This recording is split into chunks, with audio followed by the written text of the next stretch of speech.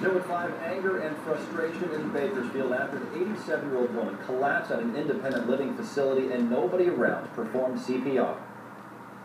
Yeah, we can't do CPR at this Okay, then hand the phone, hand the phone to the passerby. You can't do it, I need to hand it to the passerby, I'll have her do it. Or if you've got any, any citizens there, I'll have them. No, A little more than five minutes into the call, the woman, Lorraine Bayless, remained untouched, barely breathing on the dining room floor. Is there anybody that works there that's willing to do it? we can't. Are we just gonna wait, we're gonna let this lady die? Well, that's why we're calling nine-one-one. We can't wait. She can't wait right now. She is stopping breathing. She can't wait for them to get there.